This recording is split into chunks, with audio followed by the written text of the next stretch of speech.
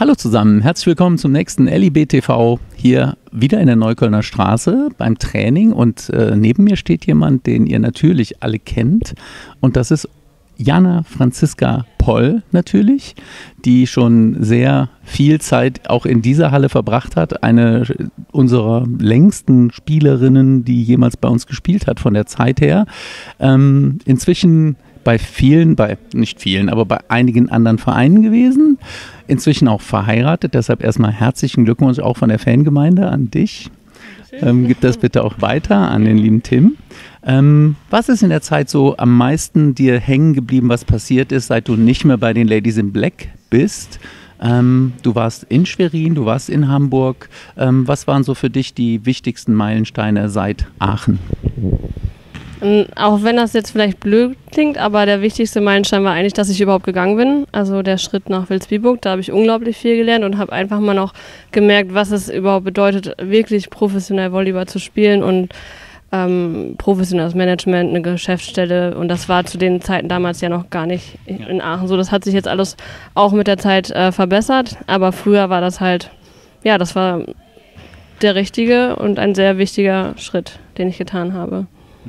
Du bist auch in der Zeit dann auch zur Nationalspielerin gereift, immer wieder mal dabei gewesen, dann wieder mal nicht, aber immer wieder wirst du auch von den Nationaltrainern berufen. Auch das sicherlich ein wichtiger Schritt in deinem Leben als Volleyballerin.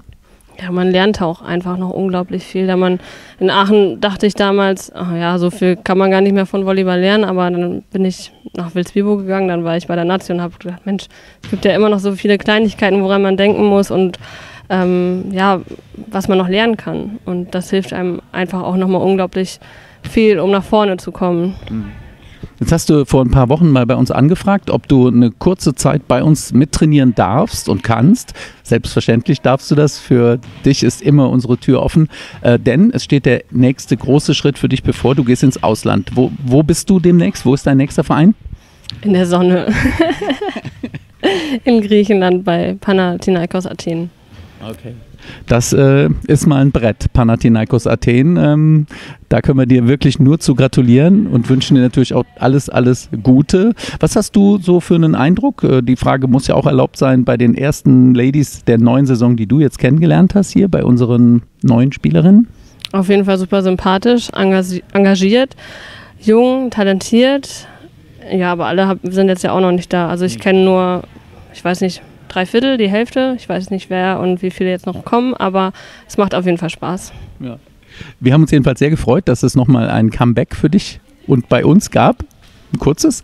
Äh, und immer wieder gern. Und wir wünschen dir, und ich denke, ich spreche da für unsere Fans, alles, alles Gute in Griechenland, bei Panathinaikos Athen, dass du da einen guten Start hinlegst, dass du dich wohlfühlst. Und vielleicht gibt es mal irgendwann ein Wiedersehen hier mit den Ladies in Black und Jana Franziska Poll. Tschüss.